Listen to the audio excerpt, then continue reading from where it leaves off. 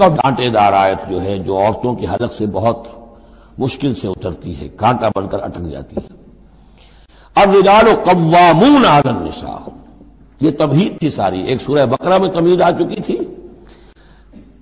علیہن، لہن مثل الذی علیہن بالمعروف وللرجال علیہن درجہ۔ یہ کہہ کے بات چھوڑ دی۔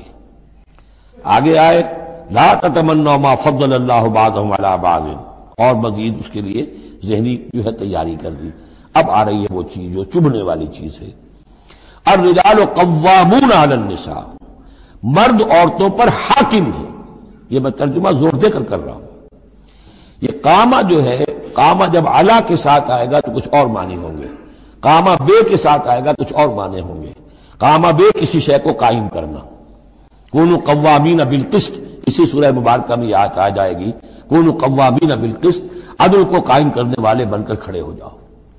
کاما اعلی کسی کے اوپر، سر پر مسلط ہونا۔ یہ ہے گویا کہ ایک درجہ حاکمیت ہے۔ گھر کے ادارے میں حاکم حاکم ہونے کی حیثیت مرد کو حاصل ہے۔ سربراہ خاندان جو ہے وہ مرد ہے، عورت نہیں ہے۔ عورت کو بہرحال اس کے ساتھ ایک وزیر کی حیثیت سے کام کرنا ہے۔ یہ ہے اس کا اصل رول۔ اسی لیے میں بیان کر چکا ہوں کہ وہ جو نسیان کا معاملہ تھا، اللہ تعالیٰ نے اس کے اندر چونکہ یہ سیکنڈ رول پلے کرنا ہے اسے اسے یقیناً اس کے جذبات کو زیادہ ٹھیس پہنچنے کا امکان رہے گا۔ آدمی کو ہر انسان مرد بھی چاہتا ہے میری بات چلے، عورت چاہتی ہے میری بات چلے۔ اب آخر کار کس کی بات چلے گی؟ یا تو دونوں کسی طریقے سے کسی مسئلے میں متفق ہو جائیں۔ اور عورت جو ہے، بیوی اپنے شوہر کو دلیل سے، اپیل سے جس طرح قائل کر لے تو معاملہ ٹھیک ہو گیا۔ اب اگر نہیں ہو رہا معاملہ، تو اب کس کی رائے چلے گی؟ مرد کی رائے چلے گی۔ تو کس کو اس سے ایک صدمہ پہنچے گا، عورت کو پہنچے گا؟ لیکن اس صدمے کا ہی جو ہے انفلوئنس اس کو کم کرنے کے لیے سیفٹی والو نسیان کا مادہ اللہ تعالیٰ نے عورت میں زیادہ رکھ دیا۔ اسی لیے پھر اس قانون شہادت کے اندر ایک مرد کی جگہ دو عورتوں کو وہاں پر اس کا نصاب رکھا گیا۔ اب رجال قوامون علی النساء بما فضل اللہ بعضهم على بعض۔ اب یہ دوسری بات ہے کہ اگر وہ شوہر حاکم ہو کر ظلم کرتا ہے، ان کے حق ادا نہیں کرتا ہے تو اللہ کے ہاں بڑی سخت پکڑ ہوگی۔ یہ تو دوسری بات ہے بالکل۔ لیکن یہ کہ جو قانون ہے اسلام کا وہ یہی ہے کہ یہ اختیار دیا گیا۔ اب آپ اس اختیار کا غلط استعمال کر رہے ہیں۔ آپ اس کو ظلم کا ذریعہ بنا رہے ہیں تو اس کی سزا اللہ تعالیٰ کے ہاں آپ کو مل جائے گی۔ بما فضل اللہ بعضهم على بعض، بسبب اس فضیلت کے جو اللہ نے بعض کو بعض پر دی ہے۔ وہ بما انفقوا من اموالهم اور بسبب اس کے کہ جو وہ خرچ کرتے ہیں اپنے مال۔ اب دیکھیے یہ خرچ کرنے کا معاملہ اسلام میں شادی سے شروع ہو گیا۔ شادی مرد کی بھی ضرورت ہے، عورت کی بھی ضرورت ہے۔ لیکن مرد مہر دیتا ہے، عورت مہر وصول کرتی ہے۔ تو جو خرچ کرنے والا ہے، اب اس کی ایک حیثیت دوسری ہو گئی۔ پھر گھر میں اس کا نان نفقہ پورا جو ہے، اس کا خرچہ، اس کی ذمہ داری، اس کو سپورٹ کرنا شوہر کے اوپر ہے۔ تو اب وہ مال خرچ کر رہے ہیں۔ بما انفقو من اموالہم۔ فالصالحات تو نیک بیویاں کون ہیں؟ جو کہ ایک یوں سمجھئے، قرآن کے نزدیک ایک عورت کا جو اچھا کردار ہونا چاہیے، ایک خاتون خانہ کی جو بہترین روش ہونی چاہیے، وہ یہاں تین الفاظ میں آئی ہے۔ فصالحات ہو نیک بیویاں کان تاتن، ایک تو فرما بردار ہوتی ہیں، شوہروں کی فرما بردار۔ حافظات للغیب۔ غیب میں حفاظت کرنے والیاں۔ یعنی ظاہر بات ہے کہ مال ہے، کسی کا تو گھر میں ہے، وہ تو کام پہ چلا گیا ہے۔ اب وہ کس کی حفاظت میں ہے؟ بیوی کی حفاظت میں ہے۔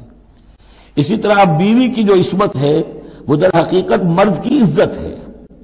اب وہ اس کی عزت کی حفاظت کرے اس کی غیر موجودگی میں۔ اسی طرح مرد کے راز ہوتے ہیں۔ سب سے زیادہ بڑھ کر جو ہے رازدان، وہ تو بیوی ہوتی ہے۔ تو تین اعتبارات سے حافظات للغیب حافظات للغیب۔ غیب میں حفاظت کرنے والیاں حفاظت کرنے والیاں شوہر کے مال کی، شوہر کے رازوں کی اور شوہر کی عزت کی۔ بما حافظ اللہ اللہ کی حفاظت سے حفاظت ہے تو اللہ کی۔ لیکن جیسے رازق اللہ ہے، لیکن کام تو انسان کو کرنا پڑتا ہے، رزق کمانا پڑتا ہے۔ واللہ کی تخافون نشوز اور وہ خواتین کے جن کے بارے میں تمہیں اندیشہ ہو جائے، ان کے اندر سرکشی کا۔ ضد ہے، ہٹ دھرمی ہے، بات نہیں مان رہی ہے اپنی بات منوانی ہے، کسی نہ کسی طریقے سے گھر کی فضا خراب کی ہوئی ہے، یہ ہے نشوز۔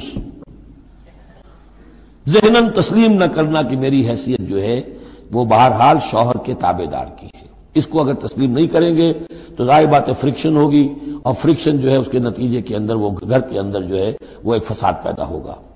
ولاتی تخافون نشوز ہن فعزو ہن تو ان کو پہلے تو نصیحت کرو۔ واہجرو ہن فل مزاج دوسرے تنبیہ کے طور پر ان سے تعلق اپنے بستر علیحدہ کر لو اور ان کے ساتھ وہ تعلق و شو جو ہے کچھ عرصے کے لیے بند کر دو۔ بدربو ہننا اس پر بھی ٹھیک نہ ہو تو انہیں مارنے کی بھی اجازت ہے۔ اس میں حضور نے جو روکا ہے وہ یہ ہے کہ چہرے پر نہ مارا جائے اور کوئی ایسی مار نہ ہو جس کا مستقل نشان جسم پر پڑے۔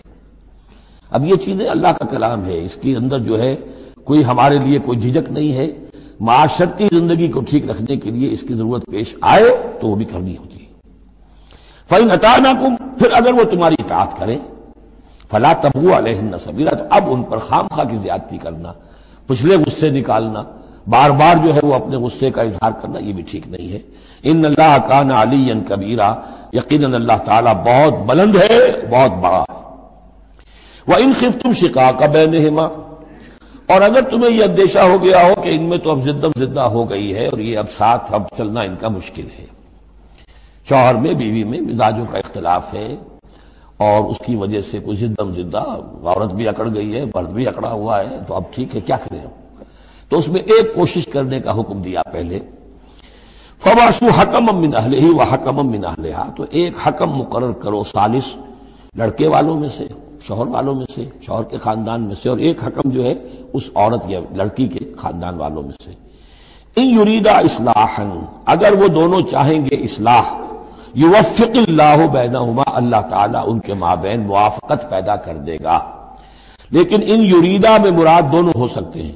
یعنی ایک تو یہ کہ اگر واقع شوہر اور بیوی جو ہے چاہتے ہیں کہ موافقت ہو جائے، ہوتا ایسا ہے کسی وقت جو ہے وہ نفسیاتی گرا ایسی بن جاتی ہے کہ وہ بھی چاہتا ہے کہ معاملہ درست ہو جائے، وہ بھی چاہتی ہے کہ درست ہو جائے۔ لیکن اب یہ کہ اب اس میں گرا ایسی پڑ گئی ہے مقتے میں آپ پڑھی ہے سکون دسترانہ بات کہ اب اس میں کسی طریقے سے مسئلہ حل نہیں ہو رہا۔ تو حکمین آ جائیں گے تو وہ بات کو گرا کھولیں گے، ادھر سے کچھ سنیں گے ادھر سے سنیں گے، کچھ اس کی وضاحت ہوگی ادھر کی وضاحت ہوگی تو ہو جائے گا۔ اور ایک یہ بھی ہو سکتا ہے کہ اس سے مراد حکمین ہو کہ اگر حکمین پوری سی کوشش کریں گے تو اللہ تعالیٰ ان کے مابین موافقت پیدا کر سکتا ہے۔ میرا رجحان پہلی رائے کی طرف زیادہ ہے۔ ان اللہ کا نا علیمن خبیرہ یقین اللہ تعالیٰ بہت علیم اور خبیر ہے۔